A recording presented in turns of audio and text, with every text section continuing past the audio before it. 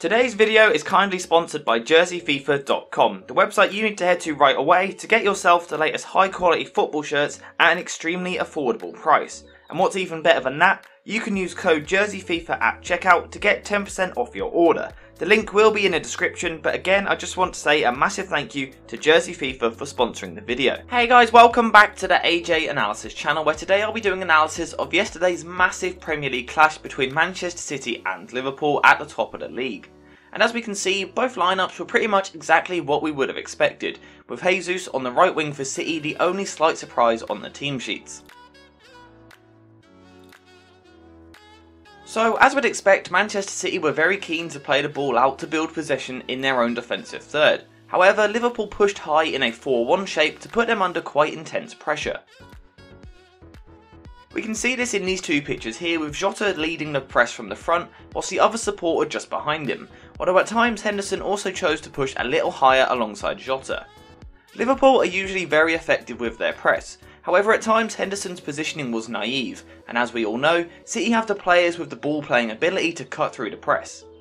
Having managed to get through the press, City then looked to build possession in the middle third of the pitch in a 2-4 shape, with Bernardo Silva regularly dropping deep to form a double pivot alongside Rodri. Again we can see exactly this in both pictures here with Bernardo Silva forming a midfield 2 alongside Rodri, and their technical ability on the ball provided a platform for Manchester City to dominate the ball. The positioning of Bernardo was particularly interesting because we're used to seeing him play much higher, but yet again it just highlights the technical quality that these City players have in different roles.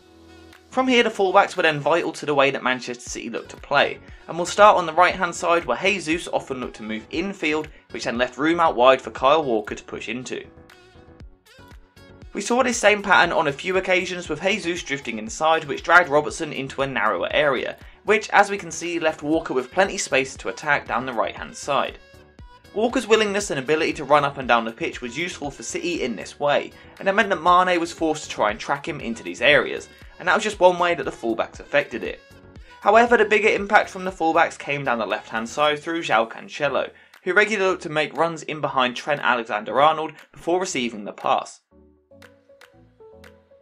In recent weeks, City have focused a lot of their attacks down the left hand side, although in this game in particular, it felt like they targeted Arnold, and in the first half Cancelo got in behind the defence time and time again. Again, we all know that Cancelo is more than happy to make these forward runs, and it was his runs from deep that helped City to really exploit the Liverpool high line, particularly during the first 45 minutes. The fullbacks continued to have a massive impact on the game even when they were in slightly deeper areas thanks to their passing range, which again regularly allowed them to play passes over the top of the defence. Again, this was something that we mainly saw down the left hand side to try and get in behind Arnold, and a link up between Cancelo and Foden was quite impressive to expose the Liverpool defence in the first half.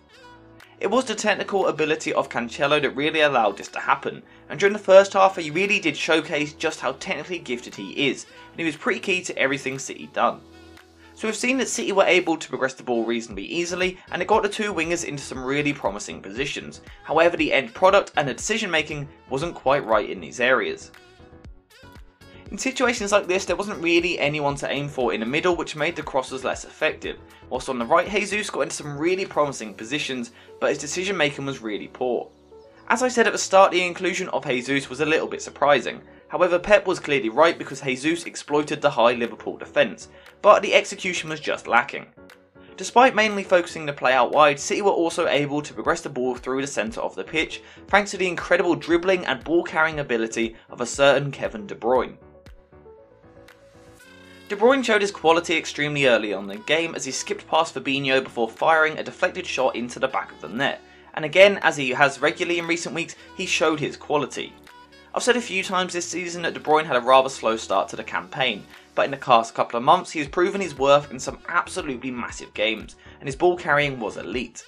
Despite the brilliant attacking display from Manchester City, they did struggle as the game progressed, and Liverpool's defence seemed to tighten up much more in the second half, with Arnold in particular improving.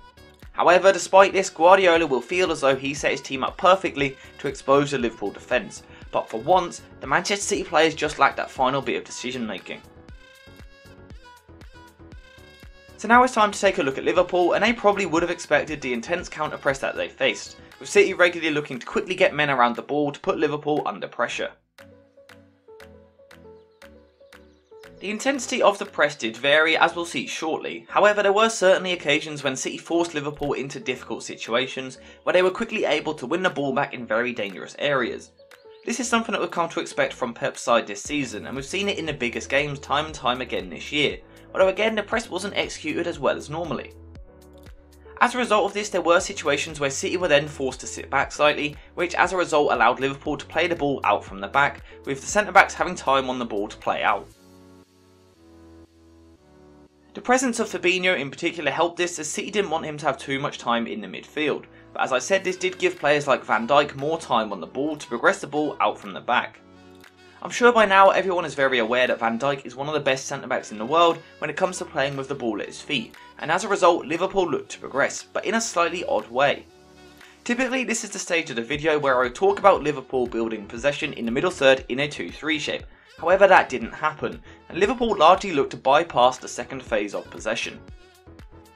This is something that we've seen from Klopp before, especially in big clashes against Manchester City, but at times in the first half it just felt that it left Liverpool with a lack of control of the game. I think one of the main reasons was simply the personnel that were picked, with Liverpool's too much technical attackers left on the bench, leaving Liverpool with no one who was looking to receive the ball into feet. With none of the forwards looking to receive the ball into feet, it put greater pressure on Van Dijk and Thiago to progress the ball. But let's be honest, they're two players that are more than comfortable doing this. This was something that we saw in the build-up for both goals, with Thiago switching the play for the first goal, whilst Van Dijk played another sweeping long pass in the build-up for the second goal as well. This was something that Liverpool took advantage of time and time again, with Thiago being the one Liverpool midfielder that really looked to put his foot on the ball before then looking to get the team pushing forward. Of course, playing these switch passes out wide allowed Salah to be brought into the game on the right wing, from where he then looked to try and move the ball in field, as did Mane from the left hand side of the pitch. Personally, I thought that both Salah and Mane had really quiet games, and their impact was extremely limited, but in that one big moment, they showed the quality in the biggest moment to grab the important equaliser. As I said, despite the important work for the second goal, I thought that Salah had another really poor game on the ball, and I think it might be time we start putting question marks over his form.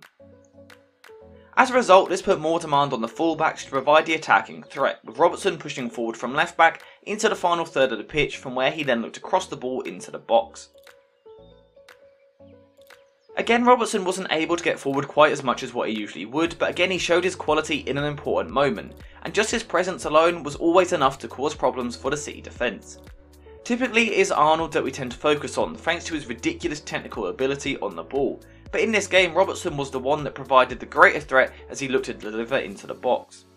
Despite all of this, this was by no means a vintage Liverpool performance, and particularly during the first half they had a lot of unforced errors on the ball, and as I said, there was no link between the forwards and the midfield. Personally, if it was me, I would have gone with a slightly different attacking structure, with Firmino and Diaz coming into the side, and had Liverpool done that, I really think they could have gone on to win this game. Because trying to counter-attack in behind a player like Kyle Walker just isn't something that really works, and ultimately City nullified most of the Liverpool threat, especially on the counter-attack. However, despite watching the two attacks that made poor decisions, there was still so much quality on the ball that we saw four goals, thanks to some incredible moments of individual brilliance. Although as the game progressed into the latter stages, it did seem like both teams tired. And that of course left us with the 2-all draw, which leaves us in the exact same position in terms of the league table. And I'm really interested to hear your thoughts, so make sure to get into the comments down below to let me know who you think will go on to win the league this season. But back to this game, and personally I thought in the first half we were treated to a real Premier League classic, played an absolutely ridiculous intensity. But this did seem to affect the second half as both teams seemed low on energy as the game progressed. And ultimately, I don't think that either team will be too disappointed with the draw, because it means that both teams are still in the title race. Ultimately, I do think the draw was the best for the neutral, maybe not as a one-off game, but for the title race, and it makes it very interesting as we head into the last stretch of the season. Thank you guys for watching, and I'll see you in the next one.